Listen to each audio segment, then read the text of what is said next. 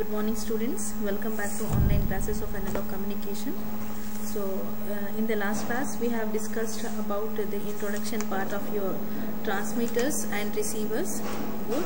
Correct. I hope you have all uh, watched the video properly.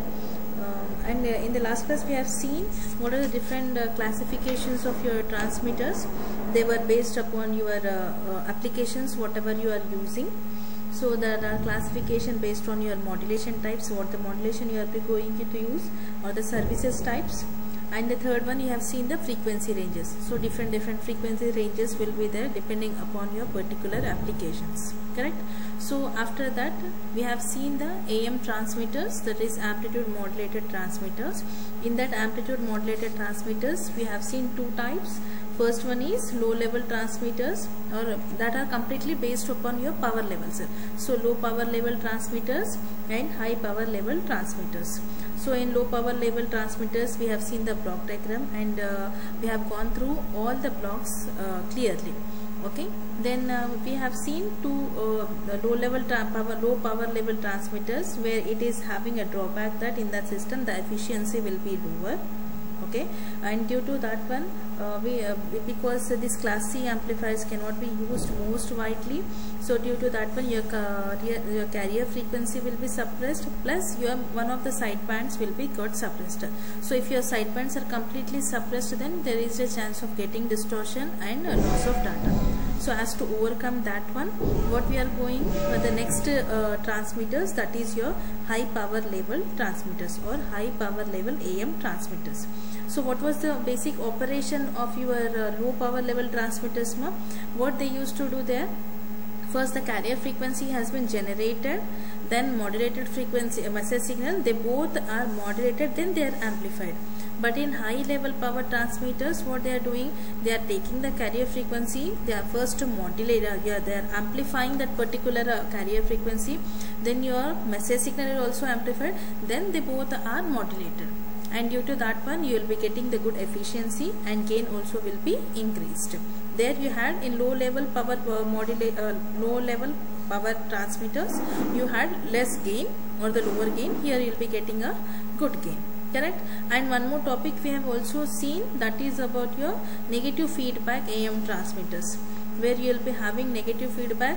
Why? As to get the envelopes. Because uh, getting the envelope or the proper envelope of your message signal is very very important. So at the feedback part we are using an envelope detector where your modulated signal is again given to your envelope detector which finds that whether if you are having or getting the proper envelope what message signal has.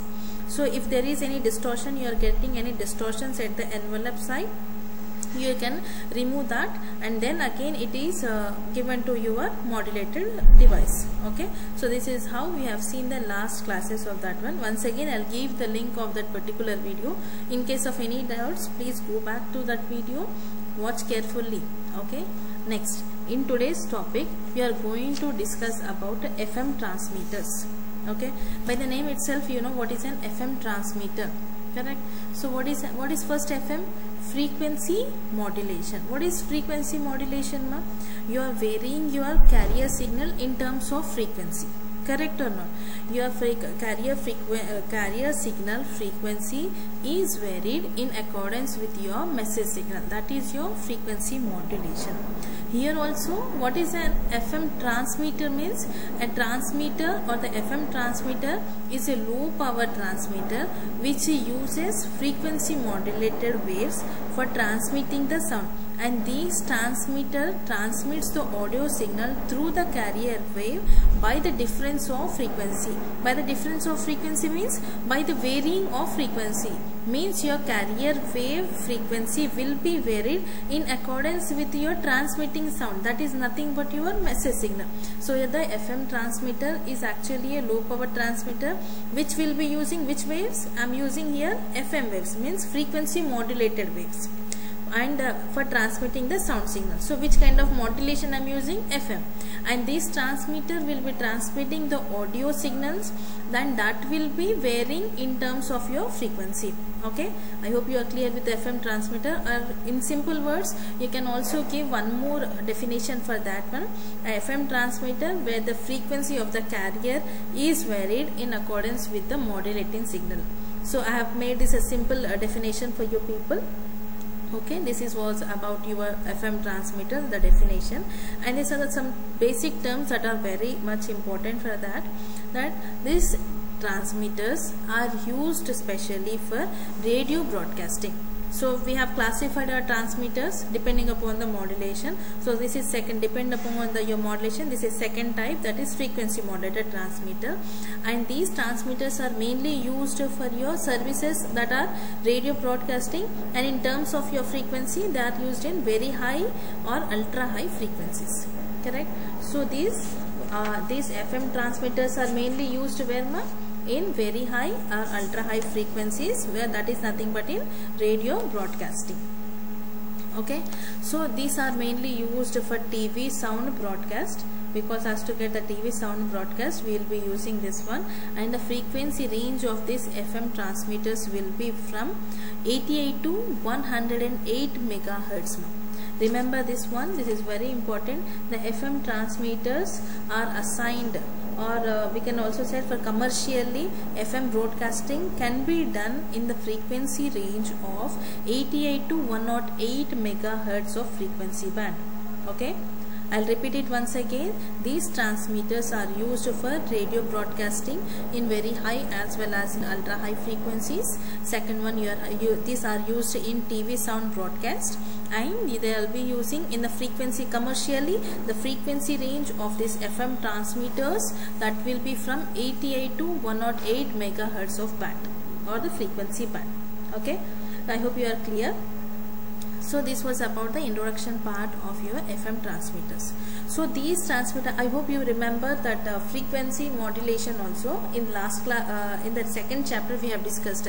Angle modulation we are having two kinds of modulation frequency modulation and phase modulation so as to generate as to modulation demodulation we have said that is nothing but generation and detection. So for generation of your fm uh, signal or the frequency modulated signal we had two types ma'am. You remember i think. I'll give that link also. Just go back to that link and check it out. So there we are having two methods to generate your frequency modulated wave. That is direct method and indirect method. Indirect is nothing but your armstrong method okay? So that are the two types. In for getting your or generating your frequency modulated wave. So based upon that modulation used or based upon that modulation types we are using here also we are having two types of fm transmitters. Okay? For getting the modulated wave we are used direct method and indirect method there. For this transmitter also based upon the modulation used there are two types of fm transmitters okay? In that F first one is directly modulated FM transmitter and the second one is indirectly modulated FM transmitter. That indirectly is nothing but your Armstrong method or Armstrong modulator or Armstrong FM transmitters. So these are the two types of FM transmitters. Let's discuss one by one. Okay? The first one is your directly modulated FM transistor. This is the basic block diagram of your FM transmitter okay? It is in direct method. Remember this this is your direct method. In this direct method you are first having the reactance modulator. Reactance modulator in the name itself you are saying that uh, you are using inductance over there. Okay? So first you are using an uh, what will say audio signal that is your message signal is given to your reactance modulator then again that modulator is given to your carrier oscillator. Carrier oscillator is nothing but your crystal oscillator uh, or the oscillator which generates your carrier frequencies right? Then that is given to your buffer amplifier. Why we are using buffer amplifier? As to stop different variations correct? We are stick to one uh, particular frequencies which will be having low gain and high impedance and this particular block is called as, as exciter section. Okay? This is exciter section. This is the frequency multiplier and this is power section. So your transmitter block in, in, in direct method is in three blocks. First one is exciter section, second one is your frequency multiplier. And third one is your power section. Okay. I'll, I'll discuss each and every one slowly um, uh, because of uh, your uh, present uh, what we'll say in this class if you'll write all full of data it will be like only theory will be visible. So I'll be repeating once again please listen it carefully and make a note of that one okay? So first one we are having the transmitter is mainly having I have said three blocks in direct method exciter section frequency multiplier and power section. In exciter section the first one we are having the carrier oscillator okay uh, then first we are having the reactance modulator then we are having the carrier oscillator then we are having the buffer amplifier okay? So in this uh, carrier oscillator generates what it will it will be generating a stable frequencies. Yes or no? In the last class also i have discussed in this carrier oscillator we are generating this use this is used to only to get a stable frequency and it should be able uh, should uh, and it should be able to change linearly when there is a full modulation okay? So it should be able or it, or it should be uh, having that ability of linearly changing the frequency when it is fully modulated. But what this carrier uh, oscillator generates it will generate only one single stable frequencies okay? This is the first part. Second part is buffer amplifier this buffer why we are using this buffer amplifier? As I've already said to get a constant a particular frequency okay to stop the changing of frequencies. And it will be having a constant high impedance and will be having a small gain. Means that is nothing but you are having low gain in this one. And second comes to your frequency multiplier. What is meant by frequency multiplier? You have to multiply your frequency okay? You might be having a less your audio signal your message signal is of less frequency. You have to multiply that one. So we need some frequency multiplier as to increase your frequency. So, so for that reason we are using this frequency multipliers okay but these frequency multipliers should be of whole numbers only like 2 multi 2x multiplier or 3 multiplier 3x multiplier or 4able multiplier. It should not be of 1.5 multipliers. This is very important. Multiplication can be done only by whole numbers only. They cannot be in points.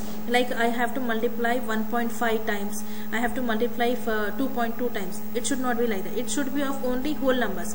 I have to multiply uh, my signal by 2 times. So 2 times multiply. Or 4 or 5 or 6 like but it should not be in decimals uh, points okay that is the important. And but it has to be and one more important thing but it has extremely low efficiency and because of that low efficiency this cannot be widespread. This is one more point huh? so we are using these multipliers but these multipliers will be having having extreme low efficiency and that cannot be used for widespread of any communication so that is one of the drawback of that one. Then last section is about your power section. So what is the power section? Why we are using? Driver amplifiers as to uh, how much power required for driving that particular signal that is used for that one. So power uh, will be amplified here also. Then the output our amplifier means the modulated signal requires an amplification uh, for transmitting to the uh, from transmitter to the receiver through a feeder um, uh, antenna so we require some power amplifiers. So the uh, final section is about power amplifiers as to develop your carrier powers. Okay? We have to carry that particular message signal no? So we have to develop some powers. So that's the reason that is the last section we will be having your power amplifier power section. So so these uh, all this block diagram is about your your direct method frequency modulated transmitters correct?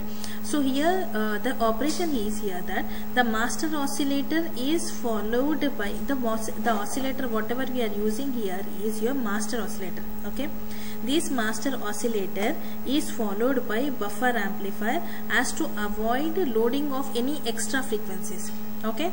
So this buffer amplifier is again followed by a frequency multiplier. Means it will be multiplying with the chain of frequencies. Either you may be using two frequencies either fourable or six. It completely depends upon the application. So this buffer amplifier is again uh, followed by chain of frequency multipliers also we can say.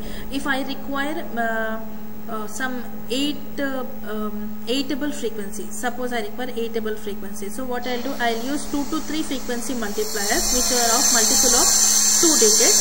So again I'll use 2 to 3 different frequency multipliers. Okay? So this buffer amplifier is again followed by chain of frequency multipliers. Okay so as to get the required frequency level either it may be one or it may be two frequency multipliers which completely depends upon your application. So it why we are using this as to get the required frequency level. So since this frequency multiplier is followed by your uh, what will say crystal oscillator or uh, master oscillator, the carrier frequency as well as your frequency deviation, they both get raised. So we will be having some frequency deviation in this one for sure because uh, we are using an FM transmitter. We know how we have to get this frequency uh, modulation index by using the frequency deviation only. So if we are using this frequency multiplier, both your carrier frequency plus your frequency deviation, they both will be getting increased by some or they, by, they will be getting raised up by some factor n. So So because of that one only they will be reaching your frequency range. And what is the frequency range of your FM transmitters? That is 88 megahertz. It should be starting from 88 megahertz. So as to reach that particular level we have to use this one. But we are having a drawback over here. The carrier frequency that is uh, the carrier frequency of your reactance modulator may drift due to three reasons. Here I have given the three reasons. I hope you are clear with this block diagram. You are having a reactance modulator from where you will be getting your message signal that is given to your carrier oscillator or the master oscillator. And then it is given to the buffer amplifier. Then chain of your it may be depends upon how much frequency level you require or either one frequency multiplier or two to three frequency multipliers. Then it is given to your power section where you have to boost up your power levels for carrying your modulated signal right? But this block diagram or the direct method what I am showing here is as having some back some drawbacks. What are they? But the carrier frequency of the reactance modulators can drift. This may be having some drift. So as to uh, because of these three reasons one is variation in voltage supply. In case if there is some variation in the voltage supply you may be getting the drift and the second one is if there is variation in temperature and humidity there also you will be getting some uh, drift or aging of your electronic device. If your electronic device whatever you are using it is old or it, it is not used for some time. So that's the reason also you will be getting some drift in your carrier frequency. So as to avoid these dis disadvantage or the drawback we are going for the next one. That is nothing but your uh, automatic frequency control circuit. Okay? In this one we will be going for the automatic frequency control because it will be controlling your frequency. So this is the block diagram of your automatic control frequency AFC okay this is also in directly modulated FM transmitters with AFC here what you are having the first one is reactance modulator or the reactance transmitter whatever you can say that. Then we are having a master uh, oscillator then a buffer amplifier from here again a buffer amplifier is there. It is a feedback circuit type. Then you are having frequency multiplier and class C power amplifiers as to ampli uh, as to amplify uh, the power which is required to transmit to your modulated signal from transmitter to the receiver so the required stability can be achieved because that is not stable. You are drifting over in that one where indirectly modulated FM transmitter. So as to get that required stability, we are going for the or we are achieving that required stability by using your automatic frequency control circuit. Okay. So what happens here?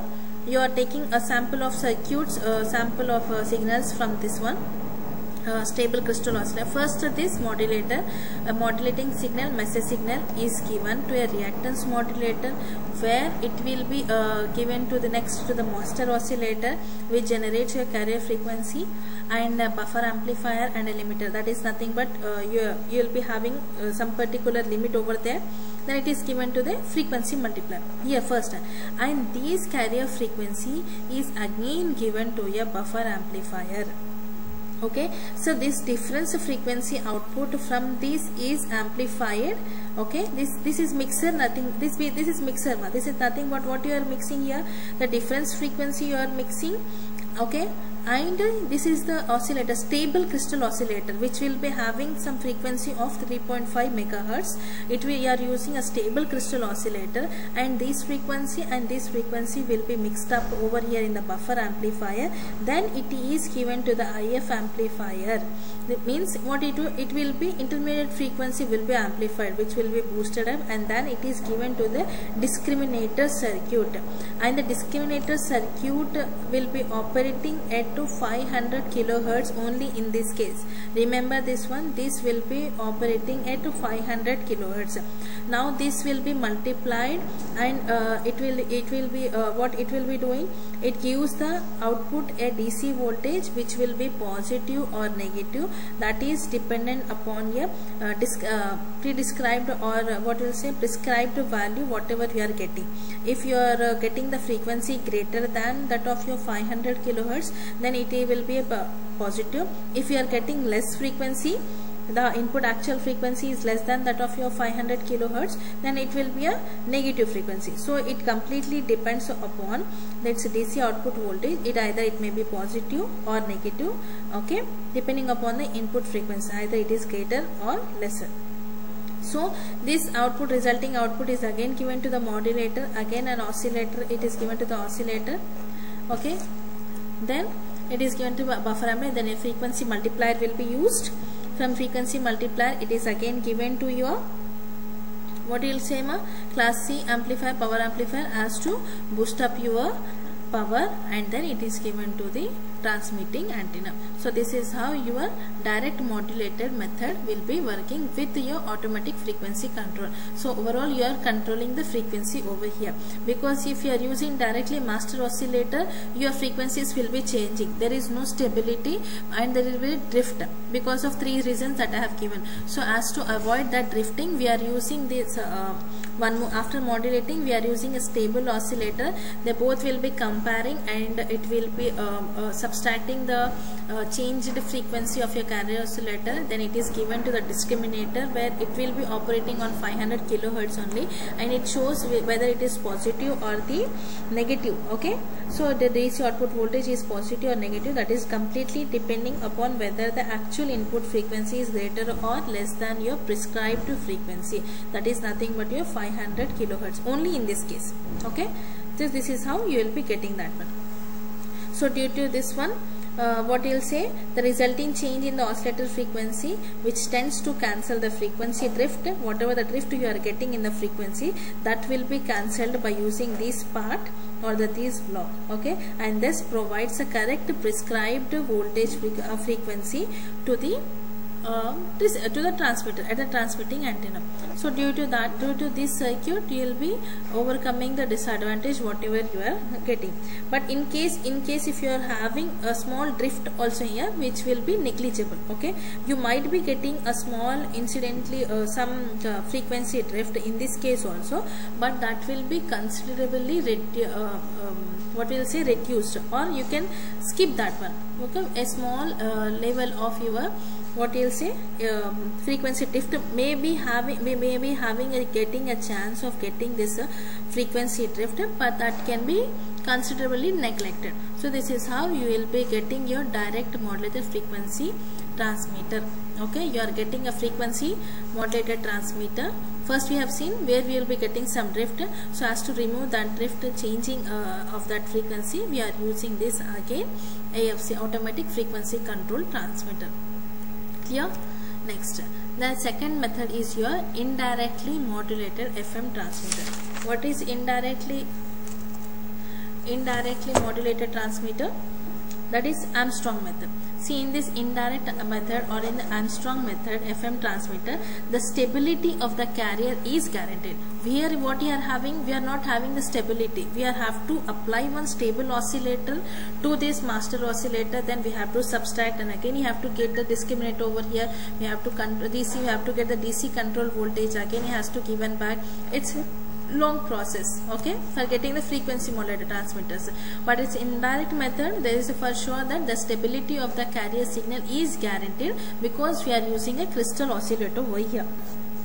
So the crystal oscillator here the block diagram is over here crystal oscillator you are getting here and a buffer amplifier which isolates the crystal oscillator from rest of the system okay? It, it will be stopping at a particular frequencies. It will be blocking over there then what you are getting the message signal where your message my message signal nothing but your voice signal that is amplified either in terms of voltage or power then it is given to a pre-emphasis circuit which restricts the message signal to some band limiter. Okay we are band limiting this particular signal up to some 1.5 kilohertz or 15 kilohertz. Okay here pre-emphasis will be given. I hope you remember uh, you don't know uh, I think what is pre-emphasis and all I'll tell in next class.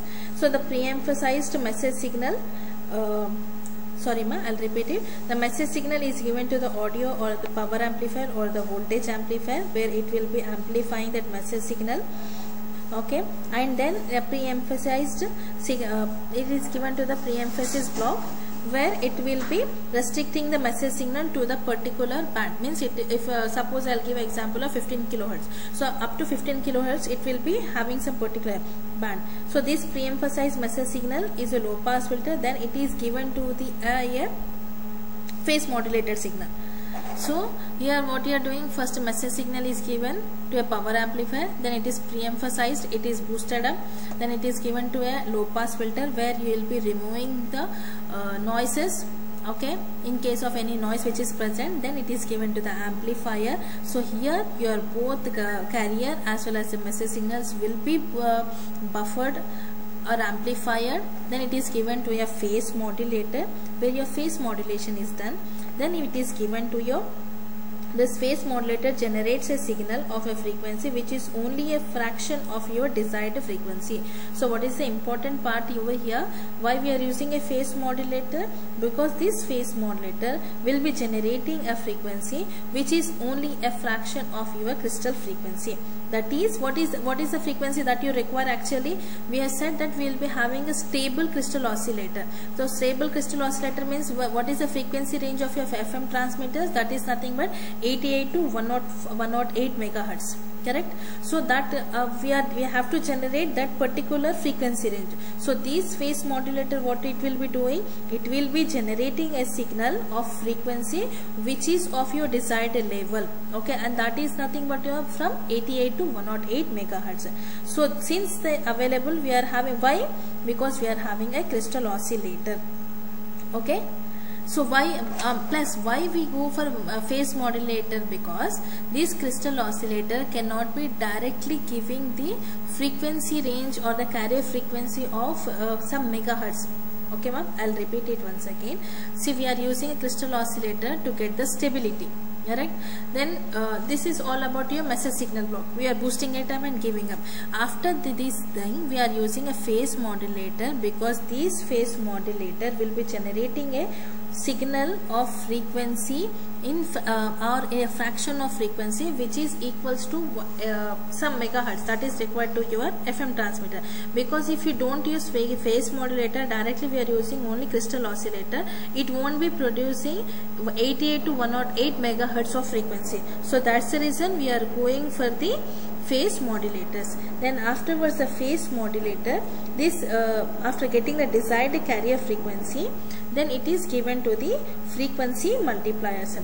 And these frequency multipliers may be on one stage or more stages. That is completely dependent upon the application how much frequency you need to be multiplied again to reach your particular uh, signal so these frequency multipliers are again used that are completely one or more stages. That depends upon your particular application. So after frequency multiplication the desired power level is uh, achieved by sending these uh, uh, signal from driving power antennas uh, sorry driving power amplifiers class C amplifiers. Okay so this is how your indirect modulated FM transmitters will be working. So what is the uh, what uh, what do you i hope you understand about this indirectly modulated fm transmitters.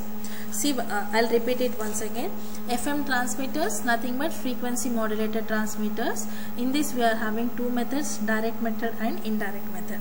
In direct method first what we are where you are having very first part we'll go back this one where you'll be having three blocks exciter section, frequency multiplier and power section. In this one what happens where the master oscillator what we are using it is not stable. The carrier frequency will be changing. So due to that one we are getting the drift in your frequencies. So as to avoid that one we are going for the AFC automatic frequency control where here using a sampled stable crystal oscillator which will be uh, giving you a, a sampled um, stable carrier frequency. Then again it is given to your like a feedback circuit ma, given to the frequency multipliers and then power amplifiers. This was about your direct modulator method and in indirect or the Armstrong method. What you are having the very most important things two are there. First one you are getting the stability. We because in the direct method we didn't got the stability. So in the indirect method we are getting the stability which is for sure guaranteed and that is gone uh, obtained by using crystal oscillator. And second one is your phase modulator we are using. Because phase modulator generates a signal frequency which is equal or a part a fraction of, of your uh, frequency range of your FM transmitters. Because the frequency range of your uh, FM transmitter is 88 megahertz to 108 megahertz. So as to get that particular high frequency we are using these phase modulators so after phase modulating you are giving it to the frequency multipliers. One or more stages of frequency multipliers that completely depends of the application.